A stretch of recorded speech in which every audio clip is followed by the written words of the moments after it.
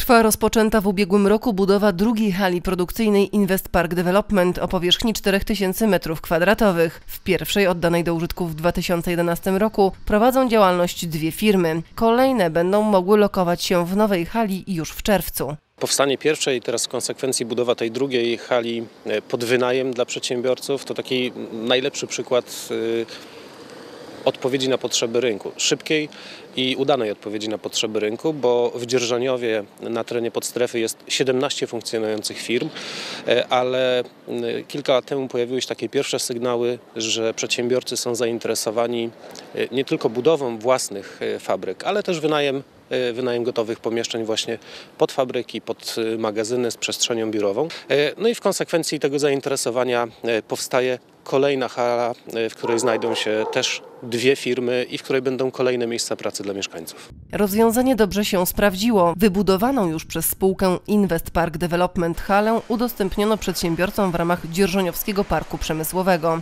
Działa on w sąsiedztwie podstrefy. Są tam pomieszczenia produkcyjno-magazynowe, socjalne i biurowe. Dysponowanie takimi obiektami znacznie podnosi konkurencyjność Dzierżoniowa przy pozyskiwaniu inwestorów. Dlatego budowana jest kolejna hala pod wynajem. Aktualny stan budowy to zamknięty stan surowy budynku socjalno-biurowego. Trwa montaż instalacji wewnętrznych. W dalszej części, gdy tylko pozwolą warunki pogodowe, powstaną drogi wewnętrzne. Udział miasta w tym przedsięwzięciu to szansa na pozyskanie kolejnych inwestorów. Wynika on z coraz większego zainteresowania gotowymi halami produkcyjnymi. Konkurencja w pozyskiwaniu inwestorów jest olbrzymia i wygrywają ten, kto jest krok przed innymi. Dziś widać, że szersza oferta dla przedsiębiorców przyniosła korzyści, a budowa kolejnych obiektów w trudnych dla gospodarki czasach potwierdza potencjał gospodarczy Dzierżoniowa.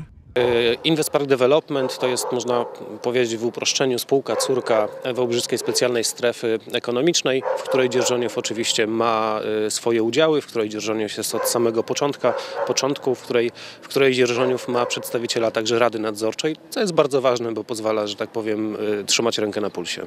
Invest Park Development, tworzony przez Wałbrzyską Specjalną Strefę Ekonomiczną Dzierżoniów, Wałbrzych i Świdnicę, buduje także na osiedlu lawendowym budynki mieszkalne. Wkłady Dzierżoniowa to 5 hektarów gruntu o wartości ponad 2 milionów złotych. Koncepcja zagospodarowania terenu pod mieszkalnictwo zakłada, że powstanie ich docelowo 36. O rozmiarze inwestycji ostatecznie zadecyduje jednak zainteresowanie mieszkańców i pracowników dzierżoniowskiej podstrefy. Z ofertą można zapoznać się na stronie www.ipdevelopment.pl.